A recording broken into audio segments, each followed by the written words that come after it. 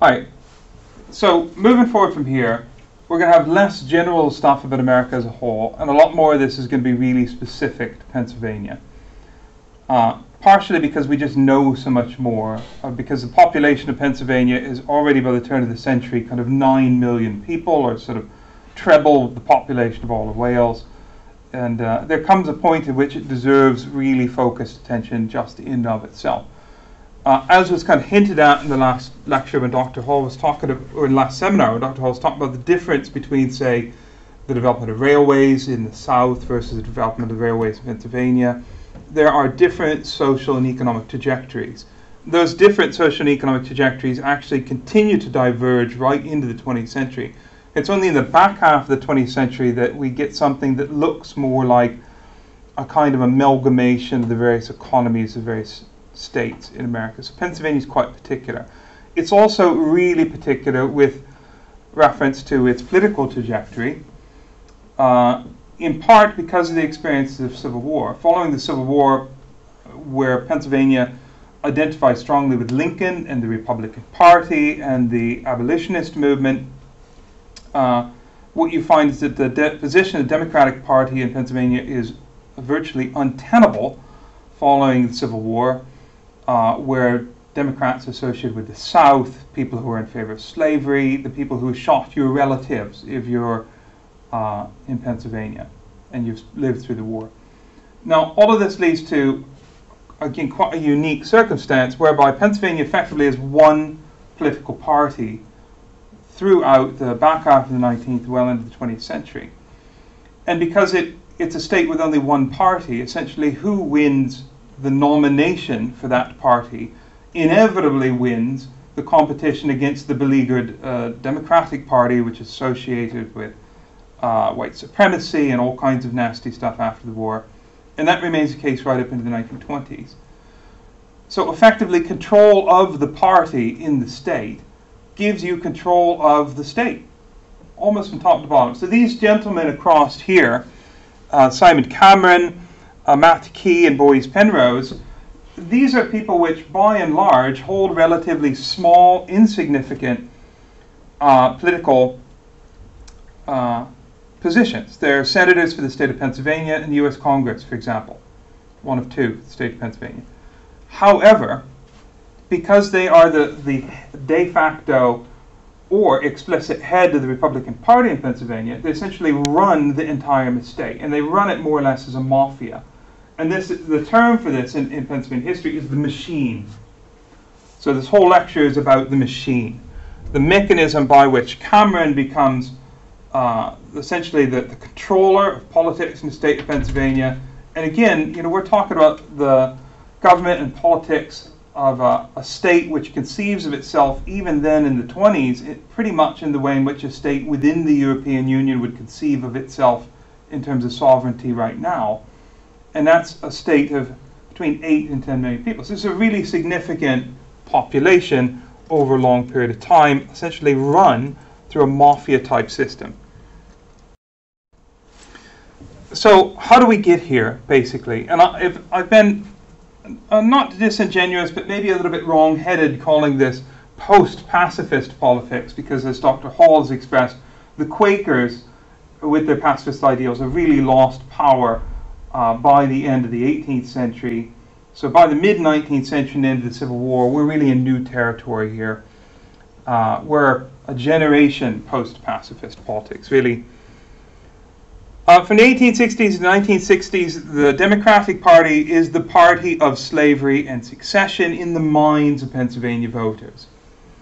Pennsylvania pays a large price for its participation in the war. It sees economic advantage from producing war materials but there are also a lot of dead. Uh, and people remember that. If we look at the 1860 election results, uh, here we have the, the candidates here, and by 1860, Northern, the Democratic Party was hived in half between Northern Democrats who were trying to be more, a bit more conciliatory, and Southern Democrats who were pro uh, pro slavery, pro uh, small federal government, among other things and you can see that uh, Abraham Lincoln's Republican. Uh, these are the Pennsylvania, where are we at here? Pennsylvania, yeah, Pennsylvania state results here. Lincoln polls 268,000 uh, which is a sizable, uh, uh, sizable chunk of the vote, which you can see is otherwise divided between these uh, other parties. It is majority, actually, I think, if you add all that up there. From Lincoln's election forward, Pennsylvania becomes a Republican state. There is uh, abolitionist sentiment is more common than uh, than the kind of uh, let it be camp, if you would. There are a lot of economic objections uh, to slavery. Of course, Pennsylvania smallholders and farmers have a constant fear they won't be able to, to compete with slave labor. And in fact, there are even kind of rumors among industrialists and industrial workers that if uh, slavery uh, ever comes into an industrialized form in the South, then you'll all lose your job because uh, slave drivers will be making people run foundries in the South. That's totally unfounded. Uh, the South wasn't prepared to engage in that kind of economic output, but these rumors bound. Uh, during the war, nearly a fifth of men in the Union Army are Pennsylvanians. Nearly a fifth. But if you think at that time America essentially stopped at the Mississippi, Pennsylvania and New York are far and away the biggest states in the Union. Even by the 1860s, New York had surpassed Pennsylvania. Indeed, New York City had surpassed uh, Philadelphia in population. But it's really those two that comprise the biggest chunk of the Union. Uh, Pennsylvania contributes more black soldiers, 8,612, than any other state forming 11 regiments. And there are only, uh, in 1870, 15,000 uh, uh, African Americans living in, in, Pennsylvania, full stop, which says that something like half of them would be people who served in Pennsylvania regiments. But the reality is that there's probably a kind of conveyor belt here where uh, people are coming into Pennsylvania, quite possibly ex-slaves in the South, joining the army in Pennsylvania, which is on the border with the South and then going south to fight again. Gettysburg, the decisive battle of the Civil War, sees 23,000 dead, wounded, and missing. And this happens on Pennsylvania soil. And then there, of course, are a whole series of smaller battles whilst two large armies move uh, back and forth around south central Pennsylvania, preceding and succeeding uh, the Battle of Gettysburg. So, the pacifist, Quaker self-image, if there's anybody left in Pennsylvania who thought Pennsylvania was all about being uh, pacifists and uh, perfect quality and so forth, these people are really out of the picture by now. 360,000 people Pennsylvania served the war. 33,000 died. That's 9.2% of all Union deaths were Pennsylvanians. 12% uh, of all Medal of Honor recipients, 187 of them, are from Pennsylvania. That's the equivalent of Victoria Cross. Uh, Pennsylvanians are really scarred by the war, which they associate with the Democratic Party. Uh, the Democratic Party was an anti-war party in the North who wanted to leave the South be. They were an anti-abolition party, which of course uh, moralistically makes them pro-slavery, right? Uh, and so, really, Northern victory in the war de destroys the De Democratic Party. Even with that split between Northern and Southern Democrats, so called Northern Democrats are still an anti war party who, who want to settle with the South and accept uh, that America is going to be divided too. Uh, so, because they've hinged their, they've uh, leveraged their political position against the probability, as they saw it, that uh, a peace settlement would have to be reached between North and South. Their party is effectively destroyed. Pennsylvania then, for the next 40 years, has a, a legacy of war hero politicians. And that really defines the self-image of the controlling Republican Party, who, of course, had been, uh, by and large, behind Lincoln and pro-abolitionist. So the Pennsylvania's governor uh, through the war is Andrew Gregg Curtin, and his great political rival is this chap down here, Simon Cameron, Cameron, who, as I already mentioned, will be the first leader of the so-called machine, uh, whereby the Republican Party controls the state. And we'll, we'll talk over the next 10 minutes or so about the rise of the machine and how really you would expect the governor of the state, essentially the president of the, of the state, the uh, inheritor of the old uh, colonial governorship, really, you would expect this chief executive of the state to be able to control the party within the state. but in fact, there's a power struggle emerges between Governor Curtin and Cameron. Curtin organized a state militia during the war. He built Camp Curtin near Harrisburg, where 300,000 men are trained. Uh, but the Republican Party won by only uh, 15,000 votes among 500,000 votes cast uh, in the election for governor back in 1861. And so when it comes to uh, governorship, there was more tepid support for the Republican governor than there had been for the Republican ca- presidential candidate, Lincoln. Uh, Curtin's not a particularly uh, well liked chap. He's seen as a kind of uh, straight up party guy. Uh, he's not particularly creative, he's not perceived to be. He's not a bombast like some 19th century politicians he's very moderate. Uh, he's referred to as a soldier's friend because when uh, the re-election vote comes in the end of 63 to see who will be government governor in 64 forward, keep in mind governors are elected for three years at a time at this period, uh, he furloughs all of the soldiers so they can go home and vote. They've all been trained in Camp Curtin. He can see he's in danger of losing the uh, losing the election. We're in the middle of the war. The anti-war Northern Democrats are fielding a candidate against him. It looks like the war might go horribly wrong. So he lets all the soldiers go home and have a break from fighting so they can vote. And a lot of them vote for him, and, he, and he's vote, voted back in. Now, his chief rival is Simon Cameron. Uh, Curtin had a long feud with him. Uh, Cameron had been a Democratic senator for Pennsylvania from 45 to 49.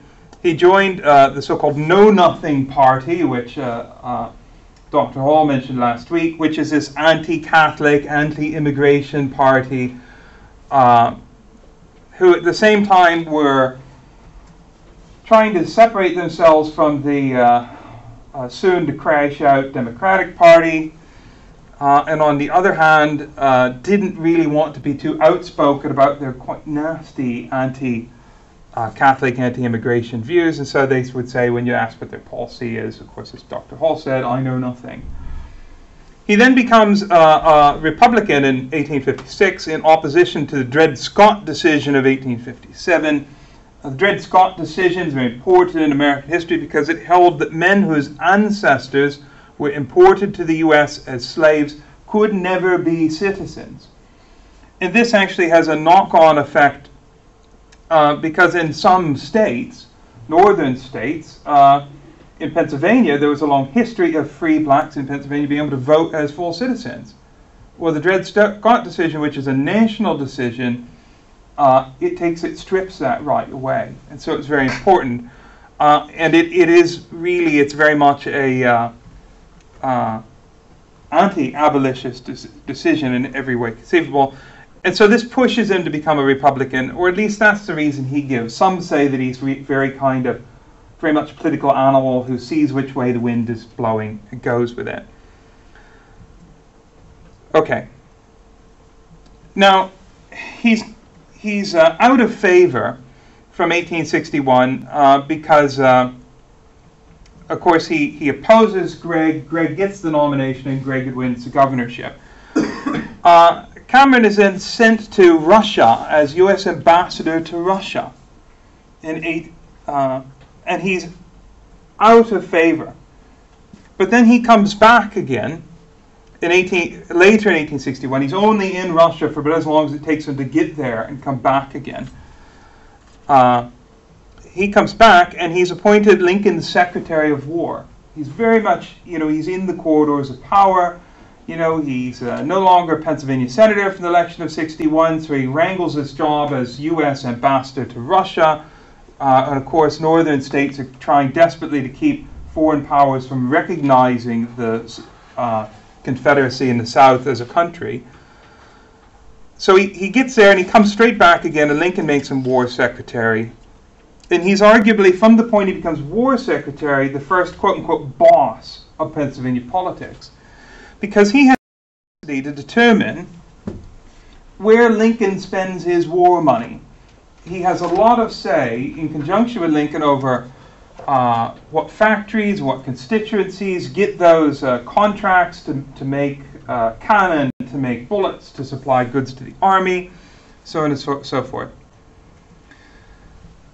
Cameron and Curtin carry on their, their feud with one another. Uh, Cameron used the, uh, the cry of scandal to try and derail Governor Curtin, focusing on the Commutation Act of 1861. Curtin trying to get uh, industrialists on board with his uh, election campaign at a time when factory workers typically voted the way their bosses did because their bosses could check how they voted.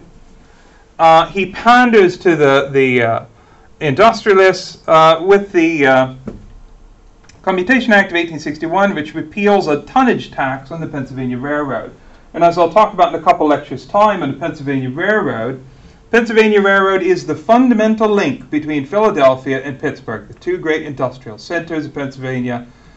And if you're in Pittsburgh, you have uh, you live under an almost complete monopoly of the Pennsylvania Railroad whether you're a farmer trying to get your grain to market in a railway car or you're a factory worker being told your wages are going down because high railroad costs are, are hurting factory profits, you're really subject to the railroad uh, in all kinds of ways. Now, this sort of uh, tax the state was charging the Pennsylvania Railroad is taken away, but the railroad doesn't doesn't reduce its fees, it just pockets the profits. And in fact, its profits go up by an extra 650,000, which in today's money would be you know 30 million a year, or something like this. The railroads hated in Allegheny County, which is that air, uh, the county around the city of Pittsburgh with all the western heavy industry is. Uh, this leaves uh, farmers feeling hurt uh, that the state is letting the railroad, who they hate, get away with you know the uh, all kinds of stuff. Uh, factory workers don't like this decision. It leaves a big hole in state finances, etc., etc. Now Cameron, uh, he has a kind of coup, de, coup d'etat here, following the Democrat 1962 uh, white supremacist campaign in the state legislature. And this, again, during wartime, the 1862 campaign for uh, offices within the state legislature the Democrats, Northern Democrats in Pennsylvania, say uh, if the Republicans win, there's going to be abolition in the South, and all of the ex-slaves are going to come to Pennsylvania and take your jobs. And so they run uh, the first of what is a whole series of quote-unquote white supremacist campaigns where the platform of the Democratic Party is uh, we are the party of the white man. I know it's hard to believe because today the Democratic Party is synonymous with the minority, and particularly the African American vote in Pennsylvania, but that's a, or and America, but that's a radical change based on developments in the 1960s. Uh, now, in, 19, in 1862, uh, Cameron's in the state legislature, which is evenly split between Democrats and Republicans uh, and there is one vacancy. So whichever party fills that one vacant seat is going to gain control of the state legislature and be able to dictate law going forward. Uh, Cameron's involved in a, a, bribe. He tries to bribe Democratic officials to actually support uh, an internal vote to fill that seat with a Republican. He tries to bribe them to go against their party. In 1862, uh, he says, I'll give you some money, you vote for Republican, and by the way, the Republican is going to be me. And this is how he intends to get back into, uh, uh, into government. Now, Governor Curtin re-wins election in 1863, despite all of this kind of hate campaign against him, and uh, despite all the bad press in the Commutation Act and so forth. Uh, but he suffers ill health, and he's now faced with Cameron, who's back in a position of power as an elected official. Uh, and Cameron effectively runs the state while Curtin is unwell by behind the scenes backroom dealing. Cameron begins to build the so called machine, as we, we know it now, from the ground up, effectively controlling the state Republican Party when, uh, and when Gregg is replaced in 1867 by Governor John Geary, uh, he has a huge say in who becomes the next nominee for Republican governor. And of course, 1867 election is after the war.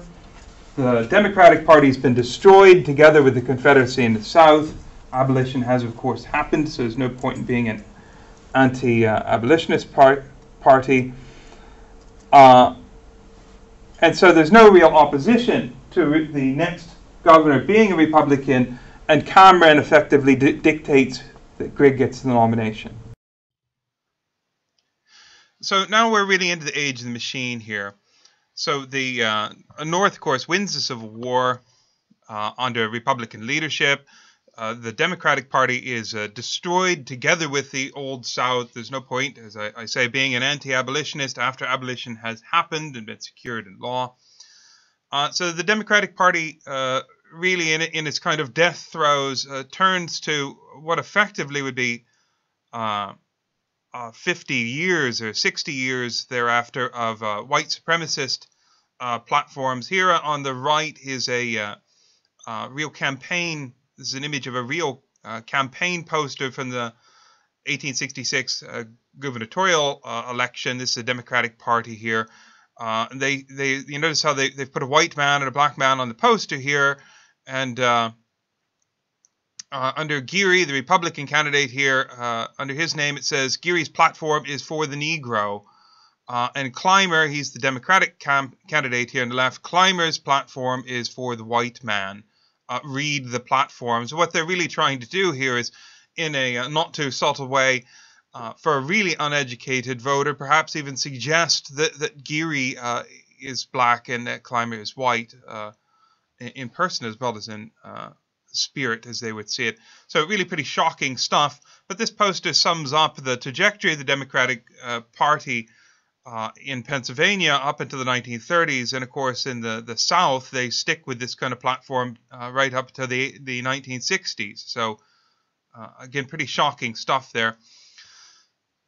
But in the aftermath of the Civil War and the uh, defeat of the Old South, and the by extension the destruction of the uh, Democratic Party, he who controls the Republican Party uh, the levers of power in the Republican Party in Pennsylvania uh, control the state because even though elections will always feature two candidates, the Democratic opposition is so ineffective, uh, and their white supremacy campaigns uh, platform is so ineffective in the North. Uh, you know, given that hundreds of thousands of Pennsylvanians have have fought in the Union Army against slavery and so forth, uh, they don't really have a, a, a snowball's chance uh, in Hades of uh, winning an election. Uh, the best they can do is these kind of scaremongering tactics where they say if, if you if you vote in Republicans, they'll empower blacks and the blacks will take your job. Uh, you know, some pretty dreadful stuff there. So we we leave the uh, Democratic uh, Party astern in its its white supremacist platform, and we push on to look at the Republicans here a little bit. And I want to point out that that Cameron as the first boss of the machine, he really grasps the importance the way previous politicians had failed to do. Uh, he really grasps the importance of controlling the Republican state convention because the party convention uh, of the Commonwealth or state is where they choose candidates. And if you can be influential in orchestrating which candidate is chosen for the Republican Party, then that person is almost guaranteed to get into uh, office because the Democratic uh, opposition is so uh, kind of uh, weak uh, and uh, racist. So, controlling the state convention requires controlling county conventions, which nominate the persons to go off and represent the various counties at the state convention. And below that, to control ward conventions, uh, wards are uh, areas within larger cities such as Philadelphia, and in some places they're areas within counties, uh, which uh, at the lowest level uh, select representatives uh, to go off to the county convention, and then so forth. County convention representatives are chosen to go off to the state convention. So you're working backwards here from the top down to the grassroots here. And Cameron understands that if you can influence people down at the ward level, then then you can get your people in influential positions at the county level who will uh, then send off people favorable to your views to the state convention, and whomever you choose as a candidate there will almost invariably win the election. No one could be nominated for state or federal elected uh, positions in Pennsylvania without the approval of the conventions. And Cameron manipulates uh, the conventions. He does this uh, partially uh, through his legacy as uh, Lincoln's war secretary, where war secretary, we made a lot of associations with various businesses and suppliers of goods to the army. Uh, but he extends that to through kind of congenial personal relationships and other aspects of, of control, indirect control. Uh, the important thing to remember is that uh, we operate on the spoils system uh, in Pennsylvania. Indeed, the U.S. Uh, federal government still operates in what's called the spoils system. Uh, this is to say that uh, once you're in power, you can uh, off you can uh, fill all of the cabinet positions with appointees of your liking. You can extend that down to county offices, sometimes even ward or city offices. You can arbitrarily appoint people to hold those Uh, government positions uh, uh, willy nilly. So. in the same way that there's there's much fuss now about whether, for example, President Donald Trump could reasonably have have uh, dismissed the former director of the FBI, James Comey, because he just felt like it. Well, actually, he could. That's part. That's an ingrained part of the so-called spoil system. You take that uh, at the state level and extend that from the governor's office right down to individual wards, and there are thousands of people who can be arbitrarily uh, uh appointed or there are thousands of offices, I should say, to which you can arbitrarily appoint people. So uh, if you come into power and you're Republican, you can uh, uh, fire all the Democratic uh, office holders or administrators throughout the Commonwealth, replace them with Republicans. Also, what you can do is uh, offer uh, grants or contracts to various businesses on behalf of the Commonwealth in this period with almost no oversight. For example, even county, ward, and township jobs are granted as spoils. Uh, there are probably about 25,000 jobs across the state uh, that are handed out on the spoils system. And so, uh, if you imagine this at a time when there are families, a family is uh, comprised, say, of, of five people, uh, and there's only one worker, so 25,000 uh, spoils jobs support a population of 125,000 people. When it comes election time, all Cameron has to do is, is make it known that uh, if you want to keep your job, you need to support candidate X at the ward or county level, and you get 125,000 people uh, suddenly really motivated to go out and uh, speak to the electorate and make sure that that preferred candidate gets selected. Uh, the spoil system has partially gone with equality legislation uh, that stops you from sacking people at will uh, from uh, state jobs. And that came in in the 1950s, 60s, but, but elements of it are still there.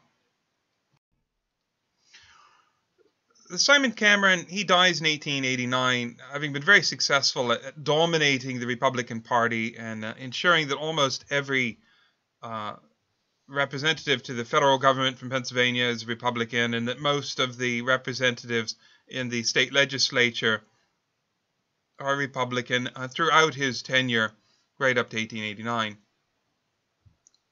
Even though uh, he had ceased to be Lincoln's war secretary in 1862, uh, after the uh, the whole dodgy debacle whereby he re-enters elected office uh, as a uh, legislator, uh, he nevertheless remained uh, Lincoln's uh, de facto consultant on federal patronage after 1862. Uh, it's funny, uh, during that one year when he was Lincoln's war secretary from 1861 to 62, Lincoln famously said of him, This is a man so corrupt he'd steal everything but a hot stove. that was Lincoln's view on Cameron but nevertheless, uh, Cameron could get things done, and Pennsylvania was the big manufacturing powerhouse of the, the Civil War era, and so uh, Lincoln needed a linkage between himself and uh, the manufacturers in Pennsylvania. And so even after Cameron ceases to be war secretary, he still controlled uh, indirectly who got a lot of big government contracts, and he used that, of course, to help influence uh, uh, influence people uh, within the Commonwealth and to govern the uh, you know spoils system and so forth. Now, from 1867 to 73, Governor Geary, who was not that hot on Cameron's uh, almost dictatorial control of the Republican Party and therefore the state, uh, he resists Cameron uh, as well as he can. Uh, he vetoes 268 private bills uh, in this, the uh, Commonwealth legislature, which had been designed as favors. So this is where they write a, a bill and say, you know, let, let's let's create a few jobs, build a bridge in Bob's constituency. It just happens to be outside of Bob's Manor, or excuse me, Bob's Mansion House in uh, you know in the greater Philadelphia area. That that's a kind of a private bill as a favor, spending money in ways that are, are particularly helpful to a legislator's uh, business. For example, you might say, uh, Pennsylvania Senator X uh, you know, happens to own a business that does Y, if we were to build, say, some docks on the river just outside his factory, wouldn't that be good for everybody? Uh, and so you allocate some funds for that. That's a, a, private bill that might have been used as a favor. As I say, Governor Geary vetoes 268 of these kind of private bills, uh, but over a thousand are passed anyway. And so Governor Geary tried to resist uh, Cameron to an extent, but he's not real successful. Now, uh, Cameron dies in 1889, and he's succeeded by Matthew Stanley Quay. uh, this is pronounced Key, Q-U-A-Y, uh, as the second boss of the, the Republican machine in Pennsylvania. Quay defects uh, from Curtin's, uh, you know, uh, ex-governor Curtin's sort of cadre of persons over to Cameron's group of politicians in 1869 and he insinuates himself there and becomes part of the machine. By 1871, he's Cameron's lieutenant. Uh, this is uh, lieutenant in British pronunciation, but lieutenant in British and American pronunciation, of course. He becomes Cameron's lieutenant. Uh, that's an informal role, uh, something akin to party whip now. Uh, he then becomes treasurer uh, of the Commonwealth of Pennsylvania. And so, if, if, if one of the ways that Cameron governs the machine is by making sure that money is dispensed to various projects and that the Commonwealth buys various things from certain persons. If you want to run the machine that way without uh, too much transparency, it's helpful to have your second in command acting as treasurer of the Commonwealth. Uh, Matt, Matthew Quay becomes U.S. Uh, senator, senator for Pennsylvania. So keep in mind here you have a state legislature, and then of course you have a uh, representatives from Pennsylvania going off to the United States federal government, and there are two senators from each state in the United States federal government. Matthew Quay becomes one of the two U.S. senators for Pennsylvania from 1887 to 1899, and again from 1901 uh, to 1904. Uh, there is a big Treasury scandal uh, when he's, uh, excuse me, a big Treasury uh, scandal uh, after he's a, treasurer. Uh, the Treasury scandal breaks in 1885, but it's about things that he did uh, back in the 1870s as Treasurer of the Commonwealth. Uh, basically, he'd uh, uh, invested various Commonwealth funds on Wall Street and, and various various ways that, that, weren't entirely transparent. a real long-term problem in pre-modern government is is keeping people who are in charge of holding funds from using them to their own advantage. So, for example, uh, if you were treasurer, imagine if we're in a world where money exists mostly in a sort of uh, physical form and it's a little harder to track. Imagine if you're a treasurer and you say, Blimey, uh, you know, I could do everybody some good here if I took, if I borrowed a little money from the uh, uh, vault, I invested it in such a way that it, it, it, yields a good return, then I put it back and I I personally take the uh, the dividend on that investment uh, for my own use. Well, that that uh, happens in a very opaque way. It's very hard to pin him down uh, as having done something entirely inappropriate, but he did uh, certainly spend certain amounts of money out of the treasury and various investments that may not necessarily have been to the public good. Nevertheless, this doesn't destroy his career. Uh, he becomes uh, not only head of the Pennsylvania uh, Republican machine, he becomes chair of the United States Republican National Committee from 1888 to 91. So not only have the Republicans developed this machine mentality using the spoil system to maintain absolute political control in Pennsylvania, but they then extend that uh, to the head of the Pennsylvania Republican machine being head of the United States Republican National Committee. Uh, and uh, if you look here, it's Republican governors, of course, who who succeed uh, Geary going forward. Uh, Governor John Hartranft in office from 1873 to 79. He's Republican, of course. He's then followed by uh, Henry Hoyt from 79 to 83, who's a Republican, of course, uh, selected carefully by the machine and offered to voters in an election that he was that each of them was sure to win because the opposition is the white supremacist Democratic Party, which people still associate with the old slave owning uh, anti abolitionist uh, Democratic South. In 1873, uh, it's decided that Pennsylvania should have a new constitution. And I put here at the top of this slide a link uh, uh, to a website where you can read the new constitution, uh, which is uh, ultimately approved in 1874. Now, uh, this is kind of a sop to complaints about the machine, but the uh, the Republicans say yes, yes, we do need reform, but we're going to carefully manage that reform. And so, whilst reform is supported by Republicans and Democrats, reform to the Commonwealth inevitably turns out to be a better, uh, certainly better for the Republicans and for the Democrats. Uh, this could have been an occasion to regulate the machine, to put in safeguards to stop the, the kind of machine politics, one party politics of Pennsylvania, uh, and to stop Pennsylvania's notorious, you know, corruption under under the spoil system. But it turns out to be a missed opportunity. There's a constitutional convention called from uh, November of 12, 1872 to December of 1873. So it's a very long time. It's over a year. It sits. There are a whole bunch of uh, delegates, uh, but most of them have business interests. Uh, for example, the Pennsylvania and Reading Railroads, a sugar refiner, uh, various uh, iron, iron manufactories have delegates at the Constitutional Convention. But uh, despite the fact that in this period, as you recall from a previous lecture, even after the industrialization of the 1840s and 50s, four in ten of all Pennsylvanians are farmers. 40% of Pennsylvanians remain farmers, but of all the delegates at the convention, only one is a farmer. He must speak. That one man had to speak for 40% uh, of the population. Of course, his voice is drowned out.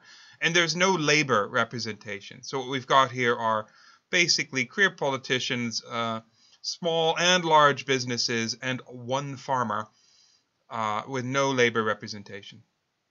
Uh, in this period, as I think I've mentioned before, uh, manufacturing workers tend to vote the way their boss does because uh, it used to be a matter of public record how you voted. You might vote in secret on the day, but later uh, you could validate the uh, vote rolls as a matter of transparency and see exactly how your workers had voted. And so people are always afraid to vote against the boss. Uh, that's to say, their factory boss. But of course, throughout the state, if you had a public uh, public sector job, you were terrified to vote against the party boss uh, as well. As a result of the new constitution, the Pennsylvania House and uh, Pennsylvania Senate and the uh, the now bicameral uh, legislature of the Commonwealth uh, increased to 200 representatives and 50 senators. in the House, people had hold two-year terms in the Senate, four-year terms. Elections are to be held biannually, uh, and districts uh, are to be of a similar population. The governorship is now to have a four-year term in imitation of the four-year presidential terms of the federal government uh, instead of the old three-year term. Now, this is Pennsylvania's third constitution. As you all know, there's the 1776 Constitution, and then the seven, uh, excuse me, 1776 uh, Constitution, and then the 1790 uh, Constitution after that. Uh, so, not just shy of 100 years later, we get this third Constitution. Now, other uh, things that are inserted into the new Constitution, uh, there's to be suffrage uh, for black Pennsylvanians. this is actually a return of suffrage, as we'll talk about in a, a, future lecture on the civil rights movement. of course, Pennsylvania had been very forward looking, and uh, anyone who paid taxes in Pennsylvania uh, had been able to vote after the Gradual Abolition Act. And that means that there were black tax-paying voting Pennsylvanians up until the federal Dred Scott decision stripped them of the right to vote. Uh, this is now re-enshrined uh, in line, excuse me, re-enshrined in law in the 1874 Constitution. Uh, other other aspects of the Constitution, there would be no amendments to alter bill's purpose.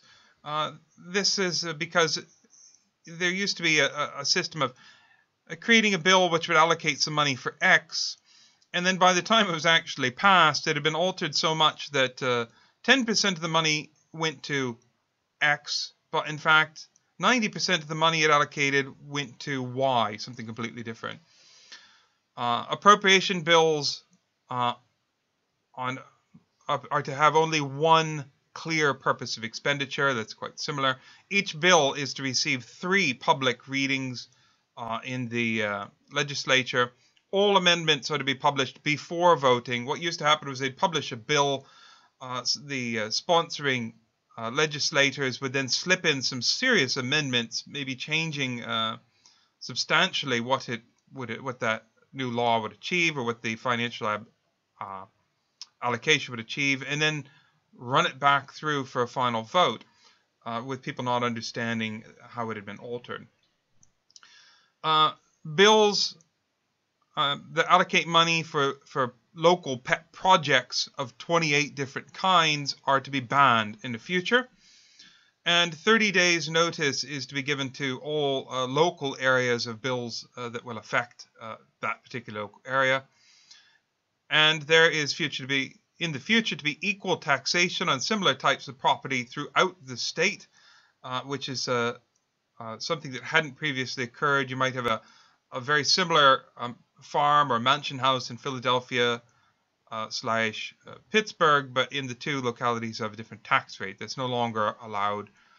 Uh, and no city commissions are allowed to enter into debt going forward. People have to have a balanced budget. Overall, the reforms are largely ineffective, though, and uh, gerrymandering, which is to say, when you carefully construct electoral districts to ensure that one party uh, will have the major will always have the majority in any given district, uh, that's quite common. Uh, the the way in which it's typically done is to say if you had a Democratic enclave surrounded by three Republican neighborhoods, what you do is you draw the electoral district lines in such a way so that the Democratic vote is divided into three uh, small chunks, one put into each larger Republican district to ensure that the Republicans would always win uh, uh, seats. These are all products of having a one-party political system. Now, uh, there, I mean, we'll go. I'll go on to say more about the excesses, uh, you know, over the next few slides here. But it's in, important to remember that uh, we still have one party politics in a few uh, states in America now. The most famous example being, of course, California, the most populous state in the Union today with 30 million citizens living there. Uh, California has a one party system with, uh, I think, something approaching 70% of Californians tending to vote dem- Democrat. Uh, and over half of all registered voters there being Democrat. And it means that as in Pennsylvania in the 19th and early 20th century, now in California, uh, there is no opposition, and any old idea that the Democratic Party gets there, they ram through with all of the attendant outrageous corruption that we saw in Pennsylvania in the 1860s to 1960s, now being mirrored in California from the 1980s until now. So these problems don't go away, they keep coming back. Anyway, we'll soldier forward through time now. The machine begins to misfire with this big scandal. Uh, remember Quay's uh, three-year absent, or sorry, Quay decides he's going to leave politics for three years. Uh, I'd like to go back, but I can't. Shoot, I'll ruin the recording. Uh, he goes out of politics, and I think he comes back again in 1904. Oh, test my memory here. Because he thinks he's going to retire. The problem is, once he retires, the wheels come off. Uh, there's big divisions in, within the Republican Party about who, sh- who should be nominated here or there. Uh, people make poor decisions and nominate candidates as favors where the candidate is somebody totally unelectable. And we end up with a Democratic governor, uh, Governor Pattison in 1883 to 87, the first Democratic governor since 1861. Now, uh, Quay then re-enters politics. Oh, I guess sorry, it's 1887 he comes back. Quay then re-enters politics, uh, takes reins of the party again, and orchestrates the election of uh, Governor James Beaver in 1887 to 91. Worryingly, in the background for this machine, which revolves in industrial support, th- this is the sort of the beginning of the era of what we call progressive politics, where politicians start responding to the desire of people for universal education, universal uh, clean water, universal uh, public health, etc. The election of Beaver responds in a way to the Johnstown flood. I'll come back to this in a couple of lectures, but it's a huge uh, disaster in Pennsylvania history. There's been clear cutting of forest water rushes down into an artificial lake, which has been built as a pleasure reserve for rich Pittsburgh industrialists. Unfortunately, it's positioned above the town of Johnstown, a major industrial town. Uh, water from uh, the unwisely deforested hillsides flood the lake, the dam bursts, uh, thousands of people die as the town is effectively washed away. Uh, there's a flood relief commission set up under uh, General Daniel Hastings, and this creates forest reserves to stop excessive logging. And this happens under James under James Beaver, and everybody comes to know who Hastings is. The problem is Quay, Quay doesn't like Hastings for personal reasons. Remember, this is a, gov- a government of sort of, even at this time period, 7 million people being run like a mafia. Quay doesn't like Hastings, so he denies him the party nom- nom- nomination. And as a, a protest vote, a lot of people go out and vote Democrat. Because the Democrats are finally waking up to the idea that maybe focusing on helping people rather than focusing on a uh, white supremacist platform is a sensible way to get back into power. So Governor Robert Pattison, uh, we at here? He wins a second term. Yeah, he wins a, a second term, but he's embattled. In 1894, Quay nominates Daniel Hastings.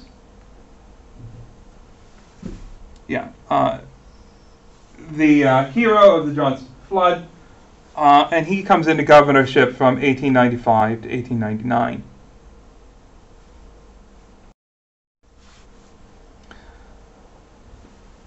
Now, after Quay dies, he's succeeded by the last of the sort of bosses of the machine, a guy named Boies Penrose, and he has to contend with this whole rising issue of progressivism. Remember, I said there's you know there's discontent uh, among a lot of people because progressive politics, the idea of policies where the state should work to help the ordinary person, that that's on the rise by the turn of the century. Uh, and how Quay represents an old guard who's very much in league with industrialists. Well, Boies Penrose, he he realizes that he needs to get on board with some of this progressive stuff if he's going to keep the Republican machine intact. After the Hastings debacle, uh, where Hastings had slipped in, uh, slipped in as a Democratic governor, because ba- slipped in as a Democratic governor, Pennsylvania under uh, Quay and Penrose's, uh, excuse me, Quay and Penrose's leadership sees back-to-back Republican governors from 1895 to 1935. So 40 years, another 40 years of unbroken uh, Republican leadership. Governor George. Earle in 1935 to 39 represents a Depression era popular rebellion against the status quo. And he is the first Democrat, where are we at here? Uh, he's the first Democrat to be elected after 1895. So solid Republicans, 95 to 35. Then George E. Earle gets in there, capitalizing on these progressive ideas uh, during the Depression, saying let's help ordinary people rather than maintaining the status quo. Now, Boies Penrose is the third so called boss. At this point, being boss of the Republican Party and running the spoil system and the state government has become such a big job that you need almost a kind of professional manager. He's like CEO of a state. Uh, he's ultra wealthy, he's an aristocrat. He takes over the Cameron Quay machine in 1904 and controls it until his death in 1921. He's a Philadelphian. He's descended from Lord Baltimore, the English lord who founded the colony of Maryland uh, back in 15, back in uh, uh, 1579 to 32. That's Baltimore's lifespan. When when was Maryland uh, colony founded? I know this is this isn't your patch. Um, About I think it was 16, mm, 16, 16, uh, 1631 spring. 60 it must have been just before Lord Baltimore's death. Yes. I, that's my memory. Paul, Paul, put, putting you on the spot there in front. Yes, no, He, he's a graduate of Harvard, which he by now is established as the premier elite university of America. And he once said, and I love this quote, there's loads of great Penrose quotes, and he's a socially awkward man, you know. He says, I propose to stay a senator. This is to say, a senator representing the state of Pennsylvania in the national federal government, which really, in terms of state politics, is a small job. He says, I propose to stay a senator. I want power. It's the only thing for which I care. I have it, I shall keep it. There are about 5,000 election divisions in this state. Uh, to hold from uh, to hold from 20,000 to 25,000 Republican workers who carry the division and bring out the vote. I must know all of these men. They must know me. The interests of the state? Question mark. Of course I look after those. But the job is managing and knowing the men who bring out the election divisions. That is to say, the job is running the machine. Yeah, of course I look after the state. Yeah, whatever. But running the machine, that's what. Well, there there are two machines uh, on a, a smaller scale. There's a, a city machine in Philadelphia and a city machine in in uh, Pittsburgh, and these kind of mirror the same sort of structure and tactics of, the the Commonwealth-wide machine of government. So it's it's all about uh, pre-approved candidates and backroom dealing. Now, uh, Philadelphia's own machine by Boies Penrose's day is run by a, a pair of brothers, the so-called Vare brothers, George and Edwin Vare, uh, and a third brother, William Vare. They're sometimes uh, referred to uh, as uh, vote racketeers. Uh, and they have various ways of manipulating the, the government of the, the city of Philadelphia. One way they do this is to introduce the so-called Bullitt charter adopted in 1 June 1885, which empowers the mayor to act as chief executive to disempower corrupt officials. So, just like with the new uh, uh, Commonwealth uh, Constitution of 1874, which looked like it was about reform but actually ends up entrenching the machine, this too is made to look like it's about uh, municipal reform but really ends up entrenching the machine. It's ineffective it does nothing to diminish the underlying machine because, of course, if the mayor himself is a, a, part of the machine, then is he really going to disempower any uh, officials in the city that are, are part of his same machine? Instead, he's just going to use his capacity to sack officials who don't agree with him to keep uh, other city officials in line. Uh, it's sort of like making the uh, uh, well, I was going to use a poacher gamekeeper analogy there, but it's, just, it's not quite right here. Uh, it's like putting the fox in charge of the henhouse, something like that.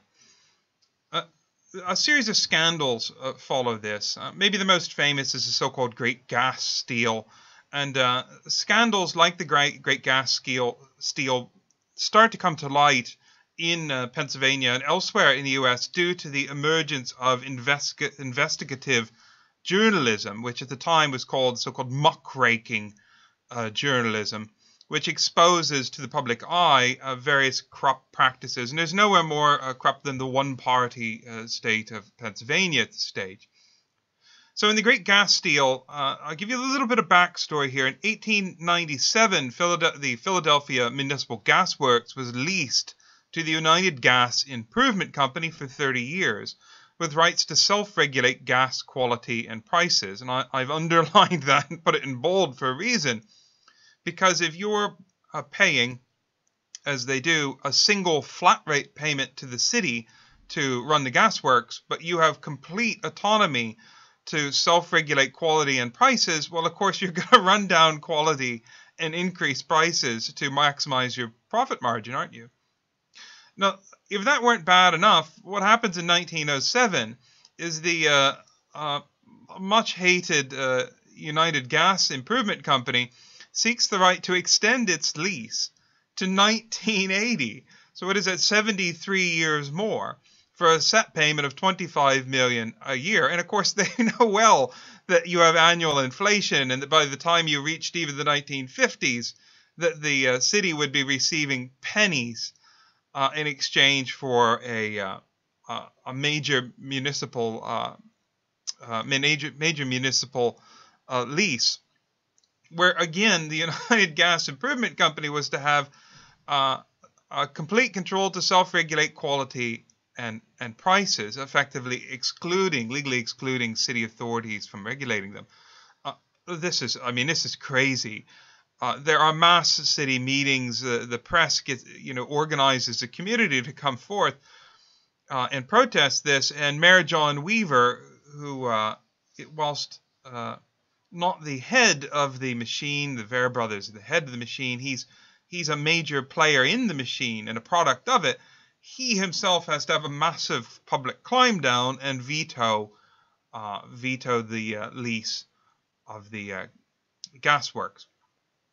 Now, Boies Penrose as uh, Boies Penrose as uh, boss of the Commonwealth level uh, Pennsylvania machine, he steps in because there's level there are levels of corruption. There's there's yeah, there's a bit of corruption of backroom dealing, and then there's this kind of holy heck corruption, uh, which has made it into the national news and led to a very public climb down by Republican machine mayor uh, John Weaver. And so Boies Penrose gets directly involved and uh, prompts uh, city authorities to introduce uh, yet another uh, city charter, this one in 1919, which again is supposed to uh, clean up corruption. And, and Penrose, uh, he feels he has to get on board with uh, supporting a certain degree of, of progressive uh, anti corruption uh, legislation just to kind of redeem the, the respectability to some extent of the uh, Republican Party and the machine. so he supports this new charter and uh, the charter gets rid of the old double chamber government of Philadelphia. When the government of Philadelphia had been set out, uh, you know, a century and more before, it kind of imagined Philadelphia as a as a kind of mini London, as a kind of uh, head of a of a of a of a growing, you know, effectively the head of a growing uh, nation almost, where Philadelphia would would sort of rule over uh, the Commonwealth of Pennsylvania, definitely. But as we'll talk about in a minute, that, that doesn't happen because a, a separate state, or I should say Commonwealth government, had formed up with its own legislature. And so you end up with this kind of uh, marooned, heavy duty, a double chamber, 146 member legislature, uh, which originally was designed to govern all of the Commonwealth, but is only governing the city of Philadelphia.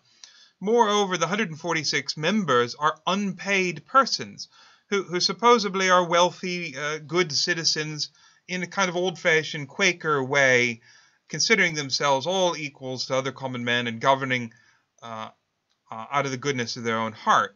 Instead, in reality, by this period, they had become persons who made their living in the absence of a regular paycheck by accepting various bribes and taking all kinds of kickbacks uh, uh, with respect to their uh, legislative role in the overblown uh, municipal government of Philadelphia.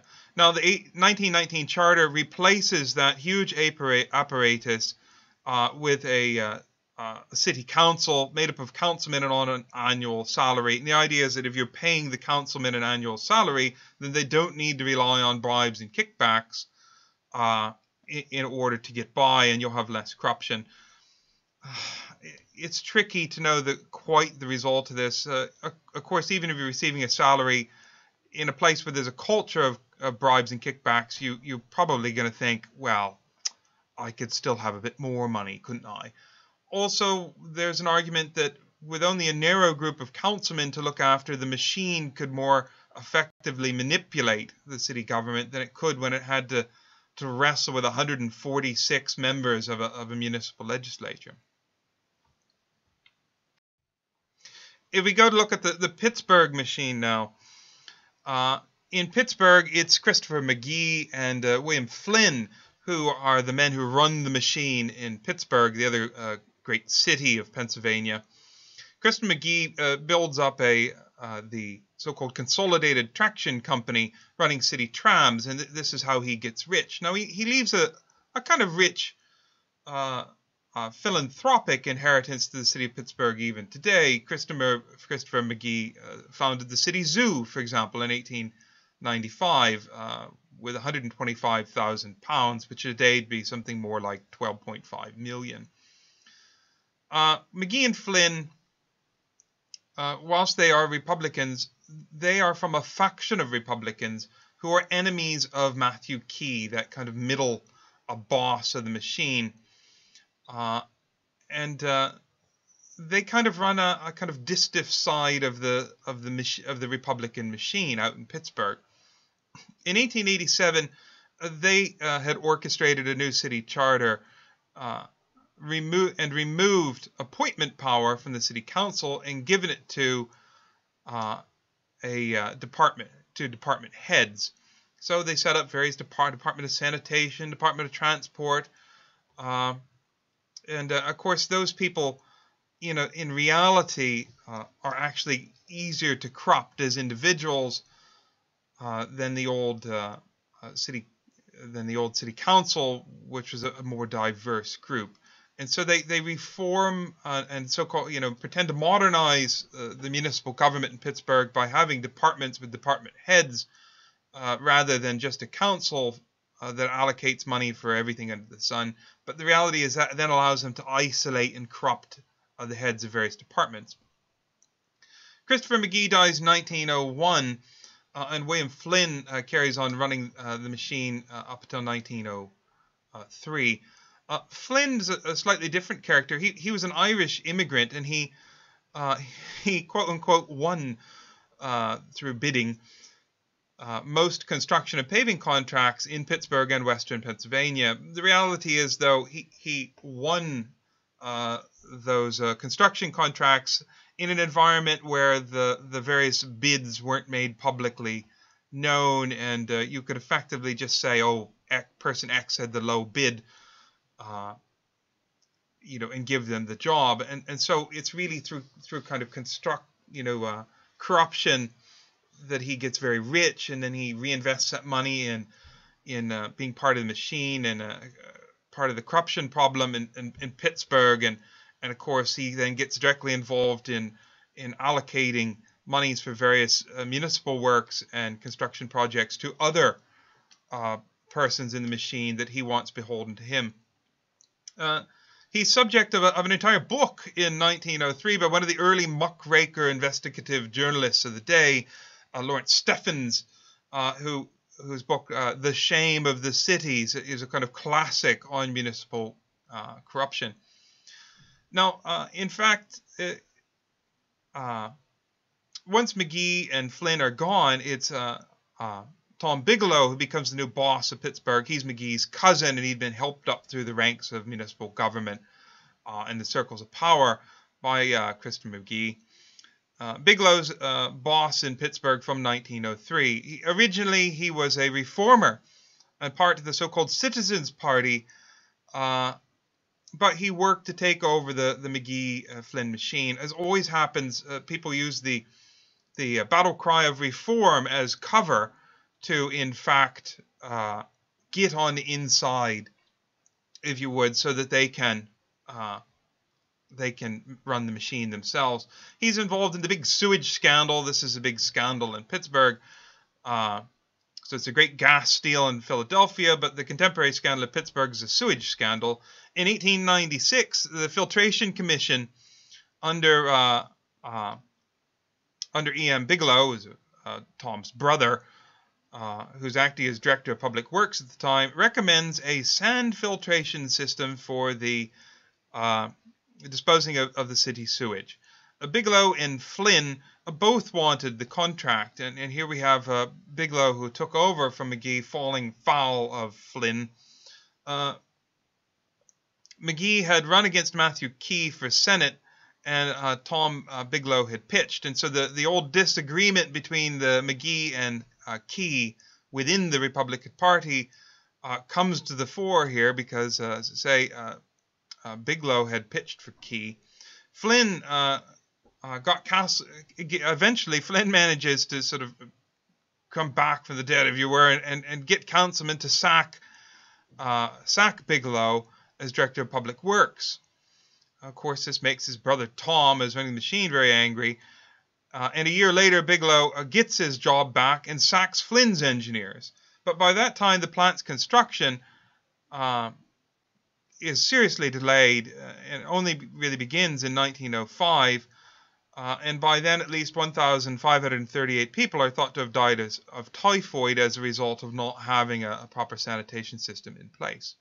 So there's a downside of the machine for you there.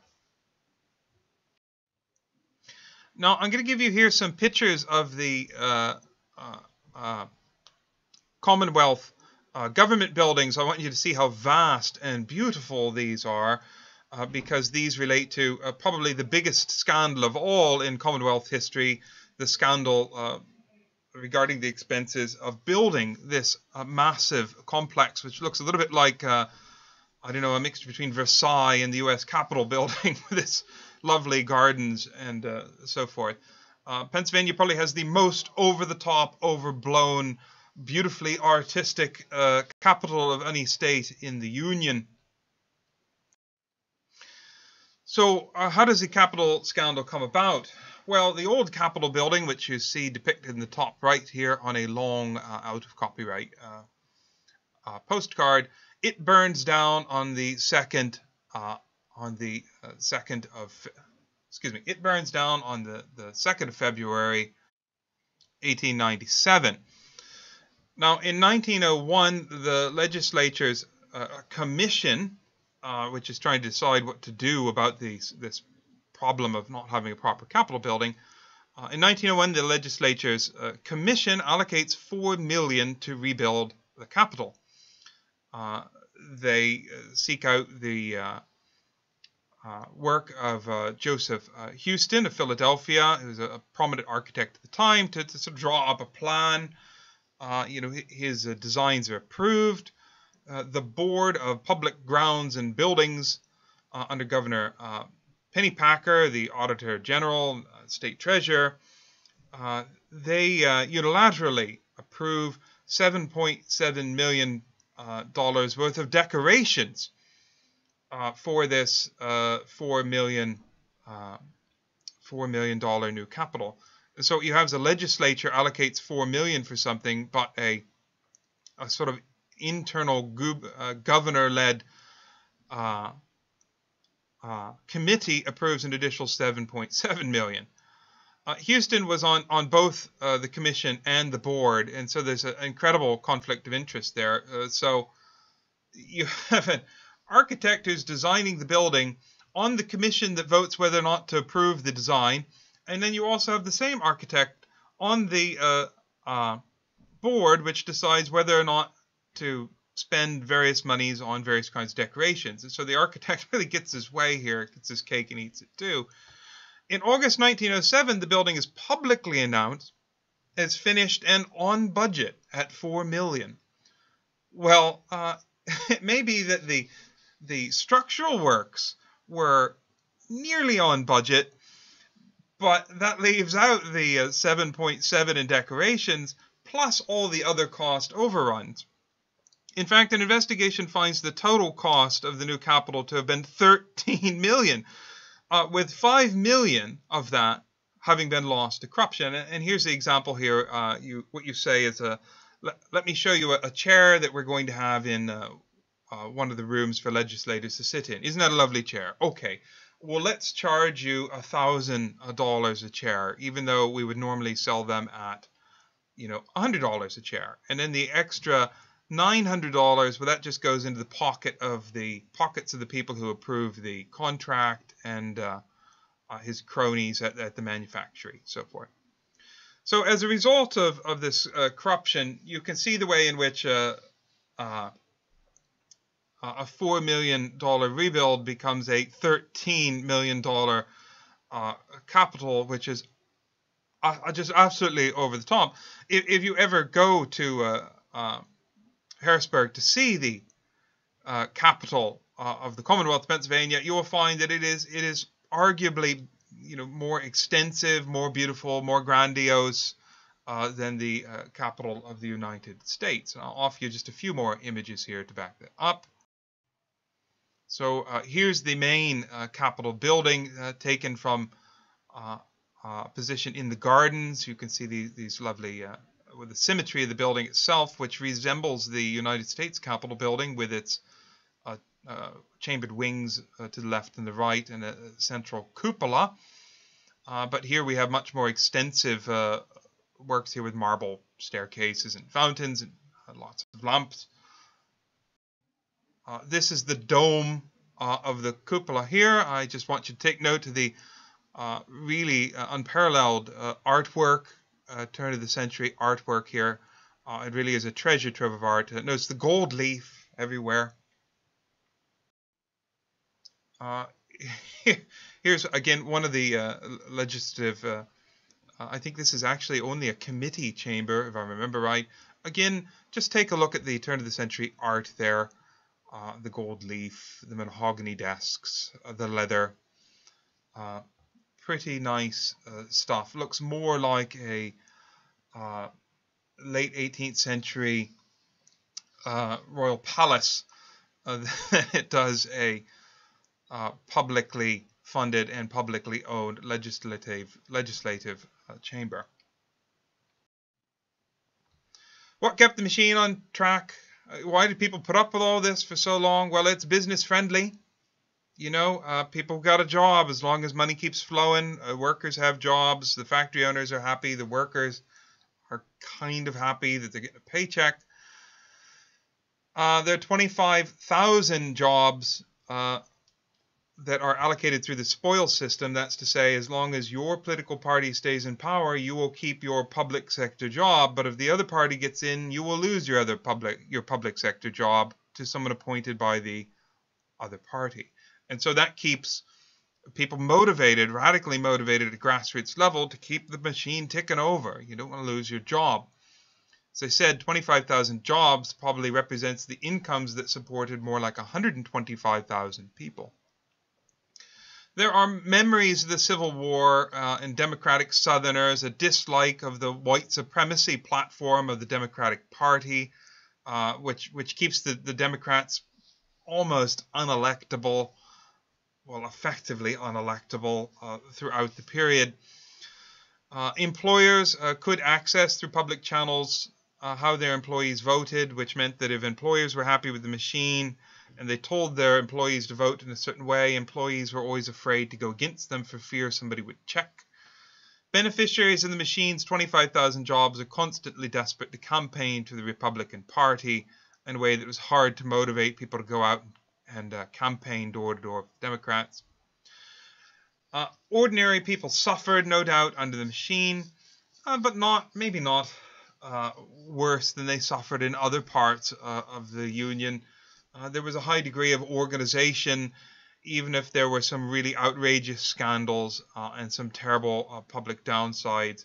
And the reality is that while ordinary people suffered, the democratic al- alternative just seemed unthinkable. Keep in mind this lecture is very long at an hour and uh, 15 minutes, but the other lecture is short at under 30 minutes. So the two lectures for this week should total up at about uh, a usual uh, two hours or so of lecture on the week. Thank you.